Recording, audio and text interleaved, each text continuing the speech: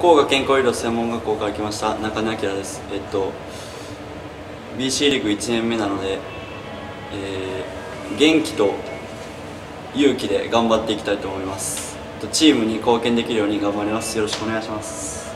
えー、福井ミラクルエレファンツから移籍してきました藤岡です。ポジションはピッチャーです。BC リーグ5年目なので経験を生かしてこの右腕で未来を変えます。応援よろしくお願いします。と豊川高校出身の、えー、森口蓮太郎です。ポジションはキャッチャーで年齢は今年23歳になります、えー、肩と、えー、フルスイングが、えー、自分の持ち味なのでそこを見てもらえたら嬉しいです、えー、一生懸命頑張るので応援よろしくお願いします。